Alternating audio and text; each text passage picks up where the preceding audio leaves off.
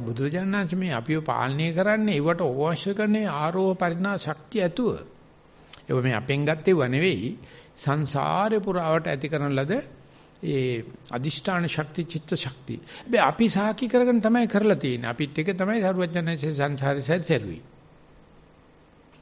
අපිට දන් දීලා තමයි බුදුන්සේ පින් කරලා තියෙන්නේ. ඒකනේ අපිට බුද්ධ පූජාවක්වත් නොදී කන්න බැරි. අපිට යුතුයකමක් හිතනවා නේ මේ ලොක්කට පොඩ්ඩක් දෙන්න ඕනේ කියලා. ඒ මේ අපේ ගුණයක් වගේම බුදුරජාණන්සේව උපේලා තියෙනවා. චීවර පින්ඩපාත සේනාසන ගිලන්පත්‍ය ඉල්ලන්න ඉස්සරලා. ඒකයි බුද්ධ ශාසනය කියන්නේ. ඒ නිසා අවුරුදු කොච්චර ගාණක් ලංකාව පෘතුගීසි කාර්යෝ ලන්දේසි කාර්යෝ සුද්ධ ඇවිල්ලා පහනක් පත්ති කරෝ සත පහක් දඩ ගහනවලු. තෙල් විනාශ කරන්න එපයි කියලා. එහෙම කරලා තියෙද්දි බුද්ධ ධර්මත ඇරි නෑ. නිසා සුද්ධ ලියලා තියෙන ආණ්ඩුකාරතුමා එංගලන්ත රජිනිට එංගලන්ත රජින කියන මක්කපිය උන් සේරම ඔවුන් මේ මේ භූත ආගමක් ආදාහනවා මේ ගෝත්‍රික ආගමක් ආදාහනවා මක්කපියව කියලා. අරු කිවල දන්න සෙල්ලම් ටික සේරම දැම්මා. මුන් මේක නම් අතාරින්නේ මේකේ ඉන්නවා පැවිද්දු කියලා જાතියක් ඒගොල්ලන් පුදුම බලයක් තියෙනවා. නොකා නොබී හිටියත් සිවුරට ගරු කරනවා.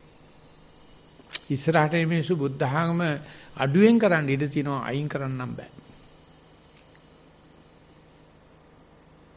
ඉන්දියාවේදී සුද්ධ ගත්තේ ඉන්දියාව Hindu කාර්යයෙන්. නෑ මුස්ලිම් මිනිස්සුන්ගේ. මොගල් රාජ්‍යයෙන්. අපෝ රාජ්‍ය බාර දුන්නේ Hindu රජයකට. ගාන්ධිතුමා තමයි රජය ගත්තේ. වෙනසක් කරලා දුන්නේ. ලංකාවේ කරන්න බැරි වුණා. ගත්තෙත් බෞද්ධයෝ මරලා ආපහු දුන්නෙත් බෞද්ධයාටම තමයි. අරින්නේ ඒක මේ අපේ තියෙන එකක් නෙවෙයි අපේ ඥානගත වෙන එකක් මේ සිංහල බුද්ධ ආගම කියන එක. ඉතින් ඒක තියාගෙන මේ නිවනට යොමු කරන්නේ නැතුව මේ අරකටයි මේකටයි උලිහිලි පාණ්ඩයි ගත්තොත් එහෙම ඒකට කියන්න බෑ ආරෝහ පරිණා කියලා. ආරෝහ පරිණා දකින්න බුදුහාමුදුරුදියා බලන්න. ඒ වගේම මේ කාලේ හිටපු කේමාව උප්පලවන්නාව අසන්ති මිත්‍රාව එහෙම නැත්නම් නන්ද රාහුල ආදී සාරිපුත්ත මොග්ගල්ලාන ආදී මහා ස්වාමීන් වහන්සේලා දිහා බලන්න. අපිට තාමත් ඒව දිහා බලනකොට බාප්පා දැක්ක වගේ අම්මා නැන්දම්ම දැක්ක වගේ සතුටක් තියෙනවනේ. අනාථ පිටික සුතුමා කිව්වා අපේ බාප්පයි දන්නේ නැති කෙනෙක් ඉන්නවද බලන්න. ඔක්කොමලා දන්නවා. ඊ යර්ති මයි පින් තෙද ගතිය. ඒක හොරෙන් ගන්න බෑ, පගාවට ගන්න බෑ. ඒක වංච කරන්න බෑ. එසා මේ ආත්ම නිවන් දැක්කේ නැතත් අපි මේ කරන වැඩේ පිළිබඳ වාජානීය අශ්වයකට වගේ සම්බන්ධ වෙලා වැඩ කරගෙන යනවා නම් අපි දන්නවා අඩු ගන්න නිවන් ලැබුවේ නැතත් ඒ පාරට වැටිච්ච බව එහෙම නැත්නම් සෝවාන් නොවුනට සෝවාන් මාර්ග ඥානෙ ඉන්නවයි කියලා. ඔయిత වැඩිය මොනවද අපි තවත් බලාපොරොත්තු වෙන්න ඕන. ඒත් ආුනේයයි පාුනේයයි අංජලි කරණීයයි අනුත්තරම් පුඤ්ඤක්කෙත්තා. සෝවාන් මාර්ගස්ත උනත් අර සංඝ ගුණ ටික ඔක්කොම තියෙනවා. අෂ්ටාර්ය පුද්ගල මහා සංඝරත්නයට වැටෙනවා. ඉතින් ඒක අපේ අම්මලා තාත්තලා අපිව වදනකොට අපිට දීපු දෑවැද්දක් නෙවෙයිනේ. මේක තන්නේ කර මවිෂින් සුපයා ගන්න උපයාල සපයා ගන්න ලද දෙයක්. කවුරක්වත් වරෙන් මචං යන්න කියලා අඬ ගහගෙන ඇවිල්ලා නැහනේ අපි. ඒක පාච්චල් කරගන්න එපා. ඒක මහා ආරෝහ පරිණා සම්පන්න දෙයක්. ඒ කරගතදී අපි කඩාගෙන එහෙම ඉදිරියට යන මිසක්කා අපපටි වාණී වෙන්න එපා. උරහිසර පිටිපස්සෙන් හැරිලා බලන්න එපා. සන්තුට්ටි වෙන්නත් එපා. මේ ලැබපු ටික ඇති කියලා හිතන්නත් එපා. මේක ඉවර වෙනකම්ම ඉදිරියට ගෙනියන්න බලයේ තිබිලා බෑ, ජවයේ තිබිලා බෑ. ආරෝ පරිණාම වෙන්න ඕන. ඒක නායකත්වයක්, ඒක පෞරුෂත්වයක්, ඒක ඉවසීමේ ශක්තියක්. ඒකට මේ ප්‍රතිශක්ති කියලා කියන්නේ. කොවිඩ් හැදුනට අපිට හැදෙන්නේ නැහැ. අපිට ප්‍රතිශක්තිය තියෙනවා. රට දුප්පත් වුණාට අපි දුප්පත් වෙන්නේ නැහැ. අපිට ප්‍රතිශක්තිය තියෙනවා. රට බංකොලොත් වුණාට අපි බංකොලොත් නැහැ. අපිට ප්‍රතිශක්තිය තියෙනවා. කාට වැරදුනත් වර්ධින්නේ නැහැ මට කියලා ඒ ඔක්කොම අතරමැද පුදුමාකාර ආත්ම ශක්තියක් එන්න පටන් ගන්නවා. ඉතින් ඒක ධර්මයෙන් අපිට ලැබෙන ආඩ්‍ය භාවයක් ආරෝහ පරිණාම ශක්තියක්. ඉතින් ඒක ඇත්තටම තියෙනවා නම් කවදාකවත් මානසික අසහනයක් එන්නේ නැහැ. මේ බණ භාවනා කරන ගමනුත් ඒ ආරෝපණා සම්පත්තිය නැත්නම් ඒ භාවනා හරියනකොට පිස්සු වැටෙනවා. ඒක දරා ගන්න බෑ. ඒන ඥාන හිතන්නේ භාවනා වැටලයි කියලා. භාවනා කැඩලයි කියලා. සතිය කැඩලා. ඉතින් යා හරියටම එක දවසක් භාවනා කළා දවස් 10ක් විතරක සයිකියාට්‍රික් කෙනෙක් ගාවට ගිහලා බෙහෙත් ගන්න. අර එන ඥාන එන භාවනා දෙන ප්‍රතිඵලය යාට ප්‍රශ්නයක් විදියට පේයි. ඉතින් ඒක කියලා දෙන්න ඕන.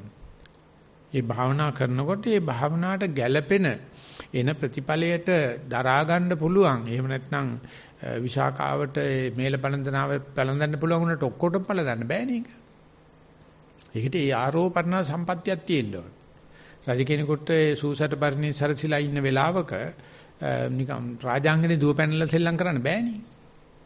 ඒක මහා අමුතු තෙදක් තියෙන්නේ. අන්නේ වගේ භාවනාවට යන කෙනා මම මේ යන්නේ මේ වගේ ආර්ය ගමනක අඩු ගානේ මම ඉන්නේ මේ වගේ මාර්ගස්ත තැනක. ඒ නිසා මට එච්චර ඔය පිස්සු කෙලකල ඉන්න වෙලාවක් නැහැ. ඒ පිස්සු කෙලිනවා මේ අනවශ්‍ය කට්ටිය අයින් කරන්න. ඉදිරියට යනවනම් ඒ ගමන දෙවියන්ට පේනවලු බ්‍රහ්මයන්ට පේනවලු.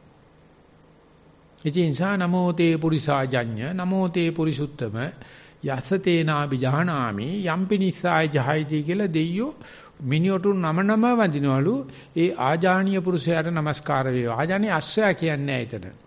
ඒ කියන්නේ මේ ආජානීය පුරුෂයා. මොකද යා ළඟ මේ වර්ණ සම්පත්තිය තියෙනවා, බල සම්පත්තිය තියෙනවා, ජව සම්පත්තිය තියෙනවා, ආරෝ පරිණාහයි.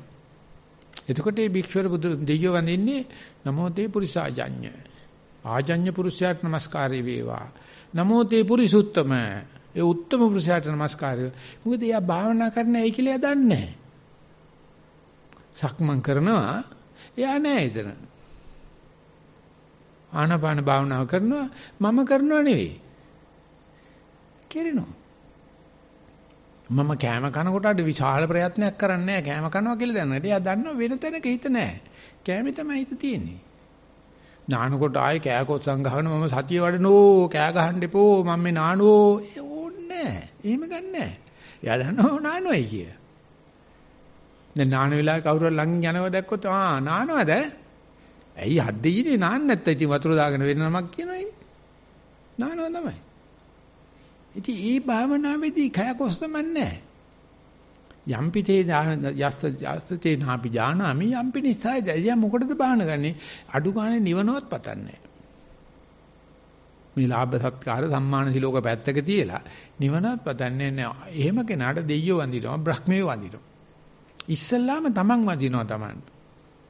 මම මේ පාර ආවේ පොඩි ගමනක නෙවෙයි. ඒක නිසා ඉතින් අම්මලාට තාත්තලාට අවශ්‍ය ස්තුතිය දෙන්න. හැබැයි අම්මලා තාත්තලා හිතපු අධ්‍යයක් නෙවෙයි. උන්දලා හිතුවනම් උන්දලාට උනේ දැන් මම දැක්කනම් මටත් ගෑණියක් ගෙනත් දීලා දරුවෝ හතර දිනක් තියාගෙන නලවන්න හම්බුනා නම් අපේ අම්මා හරි සතුටු වෙයි. අප්පා කොල්ලෝ නැතුව හිටියේ දවස් කොල්ලෙක් හම්බුනායි කිව්වනම් ඔන්න ආයෙත් බණ්ඩාර මැණිකේට එන සන්තෝෂේ. ගියේ නෑ. හරි ගියේ නෑ. මං හිත ළමයි හම්බෙලා ඉන්නවද කියන්නේ නම් හරියටම දන්නේ නැහැ. ඒක ඉතින් ඒක අදාළ නැහැ. ඒවා ඉතින් වැඩක් නැහැ. ඒවා කියන්න හොඳ නැහැ. බණ ඉවර කරන්න හදන වෙලාව.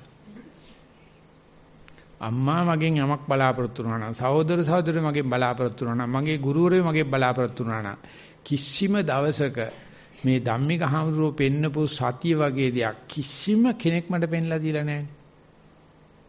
මට ඒකට පුදුම කෑදරකමක් තියෙනවා. තව එක්කුට හරි මේක රංකිතිකට ගාලා තියලා මැරෙන්න.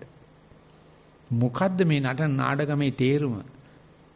අපිට භික්ෂුවක් කියලා ආජානීය පුරුෂයෙක් වෙන්න පුළුවන්කම තියෙද්දි ආජානීය අශ්වයෙක් වගේ අවශ්‍ය කරන්නේ වර්ණ සම්පත්තිය, බල සම්පත්තිය, ජව සම්පත්තිය, ආරෝපණා සම්පත්තිය තියෙද්දි තවත් මොනවද මේ නටනට අයින්නේ? අන්න ඒකට අවශ්‍ය කරන ඒව මයි ළඟ තියෙනවා මම මේ කරනවා කියන ඒ අදිෂ්ඨාන ශක්තිය තමයි ලොකු සංසි කියන්නේ භාවනාවට වැද්දගත්ම සාධකේ. වාඩි වෙනකොට වාඩි වෙන්න ඕනේ එහෙම කියාගෙන මේ වන්නේ අනි මට මේක ලැබේවා මේක ලැබේවා අර කාවොත් බෑ මේක ආවොත් බෑ මේ කචු කුචු කඤ්ඤු කුඤ්ඤු තියාගන්න එපා. ඒකට අපි කියන්නේ දස්සනේන සම්පන්නෝ. දිට්ඨිංච අනුපගම්ම සීලවා දස්සනේන සම්පන්නෝ කාමේසු විනීයගේ දන්නහි ජාතු ගබ්බසෙය්‍යම් පුනරේතිති. දිට්ඨියකට යන්න එපා. දිට්ඨින් චානුපගම සීලවා කාටවත් පාවා දෙන්න එපා සීලේ. ඒක තමයි රකින්න. දස්සනේන සම්පන්න මම යන්නේ අඩු ගානේ මාර්ගස්ත වෙන්න. එහෙම නැත්නම් මේ නිවන ලබන්න විසක් මේ ලෝකයා නලවන්නවක්වත් ලාභ සත්කාර වලටත් නෙවෙයි කියලා යම් කිසි කෙනෙක් පරියන්කයට වාඩි වෙනකොටම මේ දර්ශනීය තියෙනවා නම් දෙයියෝ වඳිනවා. බ්‍රහ්මියෝ වඳිනවා.